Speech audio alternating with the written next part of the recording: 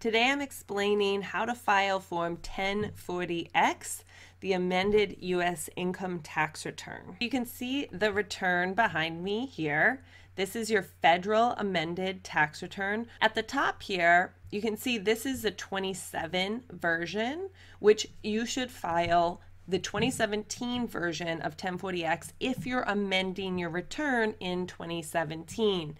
And you can see here there's 2016. You can just check the box for whichever tax year applies. You only want to check one box. Enter other calendar year or fiscal year. Usually you will leave this blank. That is not common for individuals to have a different calendar year other than the standard 1231. Down here, you'll enter your first name and initial followed by your last name and social security number. If you did file a joint return with your spouse, be sure to list your names in the same order as they were filed on the return you're amending. In other words, if your husband's name went first and then your name as a spouse second, be sure to list them that way on the amended return. It's not a fine if you don't do it that way, but it can prevent issues. So for your address, you want to enter your current address, not necessarily the address you reported on the form that you're amending.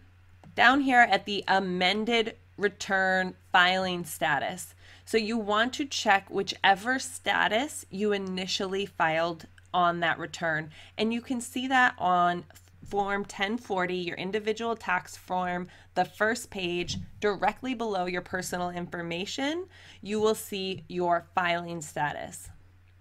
If you didn't have any penalty for not having health care during that year, you can check yes, because that means that you and all members of your family had the minimum health care requirement.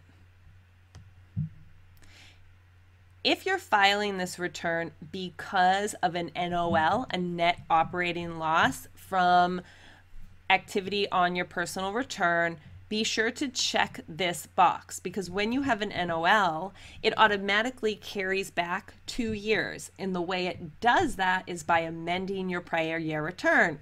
So if you're doing this for that reason, you need to check this box.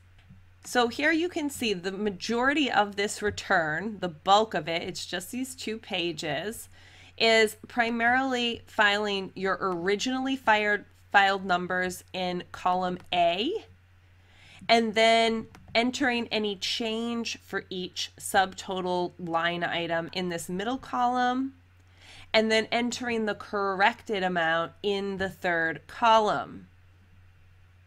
Down here is where only in this C column where there's numbers to calculate the amount due or refund due. If you have a refund due to you, you can select if you want it applied to a future year or estimated taxes. If you're making changes for your personal information, such as dependents, you will come over and complete part one first.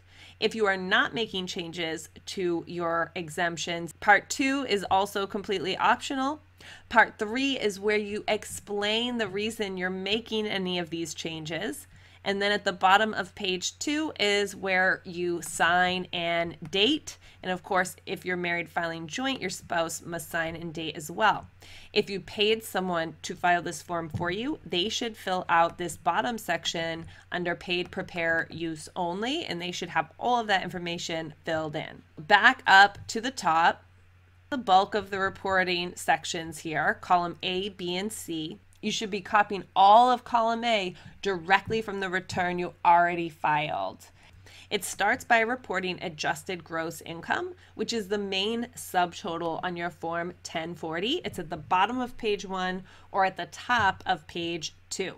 You'll only have amounts in column B where the changes effect. So if income, if your income was missing an amount and you're filing this return with more income, then that amount will be in this middle column as a positive number. You'll put parentheses around the number if it was negative. And then the corrected total is in column C. Every line should have an amount down to taxable income, line 5. From there, it's only if you actually have the amounts on your return. But column B, you'll only have an amount wherever there's a difference from column A to column C.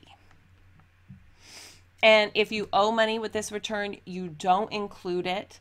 And instead, you can check out my videos on setting up a payment plan or using a voucher to make your payment with the IRS. You can also check out my other videos do I need to file an amended return and how to file an amended return? If you need help with your amended return, be sure to check out my website, amandarussell.mba. Don't put this off. Once you get it off your shoulders, you can move on and not be as stressed out. Thanks for watching. Be sure to subscribe for more, and I'd love to hear from you in the comments below. Bye.